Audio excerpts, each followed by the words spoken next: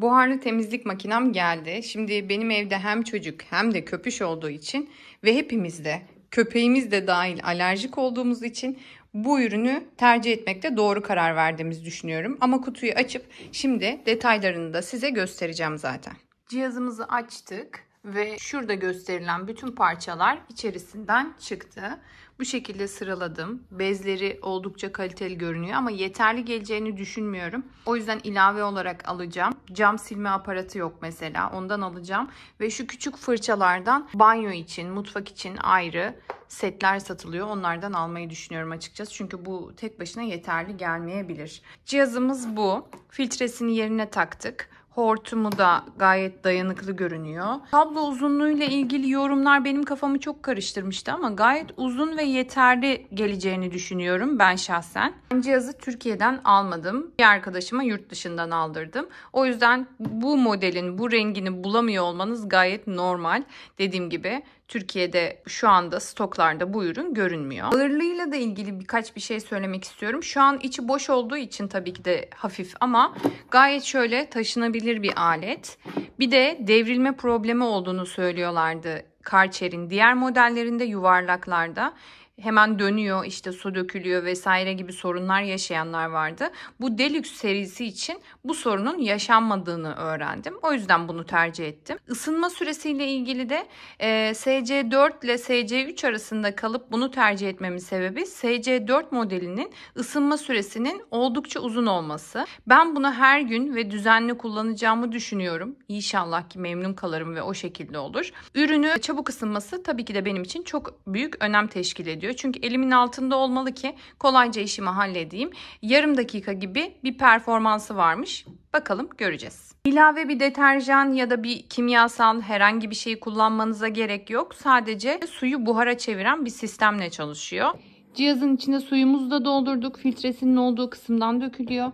Buhar derecesine basıyorsunuz ve 30 saniye kadar bekliyorsunuz. Cihazımız şu an hazır ve deneyeceğiz şimdi. Şöyle başta birazcık suyunu akıttı ama hemen sonra geçti. Şu şekilde veriyor buharı. Şimdi de zeminde deneyeceğiz.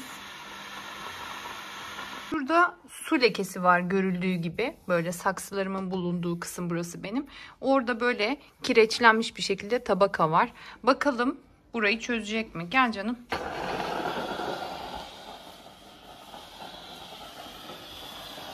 Of of gitti bile. Şimdi cihazı mutfağa getirdik. Fayanslar üzerinde de denemek istiyoruz. Gördüğünüz gibi şu büyük kolaylık sağlıyor böyle taşımak için. Zaten bir ağırlığı yok. Su doldurunca da o kadar bir ağırlığı oluşmadı bence. Kirli yüzeyde şimdi deneyeceğiz fayans üzerinde.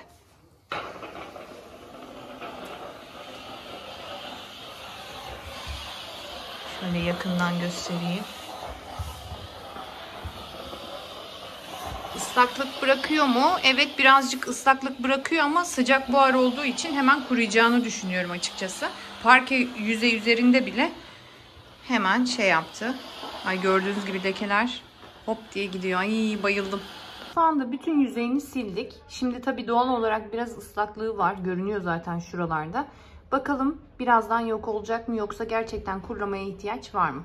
Dakika kadar bekledik kurumasını ve yüzeyde birazcık su izi bırakıyor. Hani çok göze batacak bir şey değil. Böyle tamamen taşlarınızı matlaştıran bir iz yok ama e, suyun birazcık izleri kalıyor tabi. Çok minik. Kurulansa tabi daha pürüzsüz ve cam gibi olur. Kablo uzunluğu bence gayet yeterli boyutta. İstediğiniz kadar uzanıyor. Su hacmi ise hemen öyle buharladım. Hadi bir odayı suyu bitti tekrar tazeleyin gibi bir durum yok. Gayet biz mutfağı sildik. Tekrar buraya geçtik ve e, hala aynı suyla devam ediyor. Ki güzel tarafı da çalışırken suyu ilave edebiliyor olmanız. Bu güzel bir seçenek. Birazdan biter diye düşünüyorum. O zaman suyunu eklerken de gösteririm zaten. Şöyle ne kadar belli oluyor bilmiyorum. Ama birazcık nemlilik olayı oluyor tabii. Çok gittiğiniz yerden tekrar tekrar gitmemeye çalışmanız lazım. Benim daha elim alışmadığı için böyle süpürge kullanır gibi git gel yapıyorum. Ama şöyle kullansak daha iyi sonuç verir diye düşünüyorum. Daha evin tamamını silmememe rağmen çıkan kiri görüyorsunuz. Bezimi değiştirdim. Şimdi halı üzerinde deneyeceğim. Bunun sonucunu gerçekten çok merak ediyorum. Çünkü halıların içerisinde de bir sürü bakteriler var. Ve onlardan arındırmak bence çok önemli. Şöyle çok kolay bir şekilde bastırdığınızda giriyor zaten. Bakalım sonuç nasıl olacak. Şu halini de göstereyim size.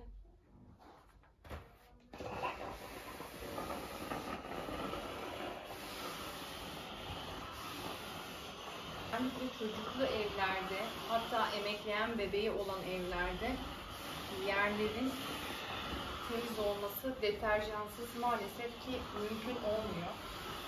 Yani şimdiye kadar karbonat ve sirkeyle götürdüğüm işi inşallah bundan sonra kançerle çözeceğim. Bu başlıkta da şöyle bir şey var. Tamamen halıyı ıslatır diye düşünüyordum ama herhangi bir ıslaklık yok değil mi? Kalmıyor. Yani bu güzel bir şey. O kadar ıslatsa çünkü hijyenik olmasının pek bir anlamı kalmıyor. Çünkü hemen yine toz yapışacaktır yerine. Öyle yani amacına hizmet etmiş olmayacak. Ama böyle gayet yeterli bence. Yalnız cihazı bana bedava vermişlercesine övme. Çok bekledim, çok araştırdım. Muhakkak siz de çok araştırıyorsunuzdur. Çünkü pahalı bir makine. Ama e, değecek diye düşünüyorum. Öyle umut ediyorum.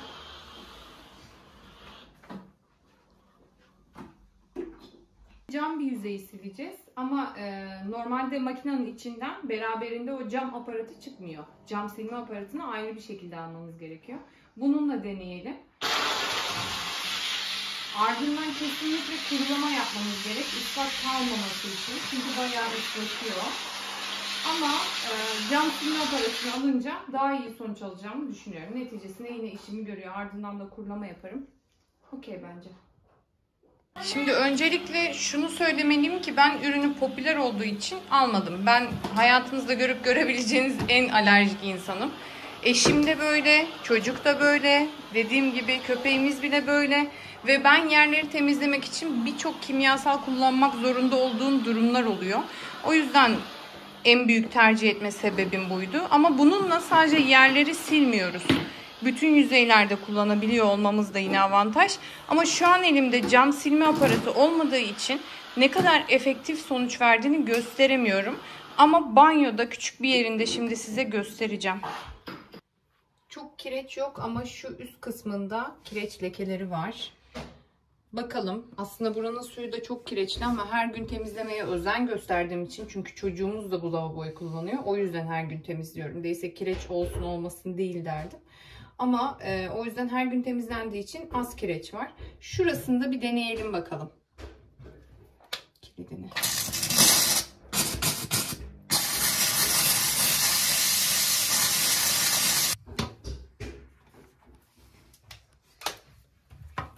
Şöyle sildiğimizde göreceğiz zaten. Evet. Tüm kireci çıkardı. Cihazla ilgili ilk deneyimim bu şekildeydi. Küçük aparatları içine koydum, kablosunu da koydum ve kaldıracağım. Zamanla püf noktalarını öğrenir, daha kolaylıkla kullanırım diye düşünüyorum. Ama aldığım için pişman değilim. Gayet ekolojik ve bence her çocukla evde bulunması gereken bir ürün diye düşünüyorum. Siz de yorumlarınızı benimle paylaşırsanız çok sevinirim. Ha bir de kanalıma abone olmayı unutmayın. Hoşçakalın, sağ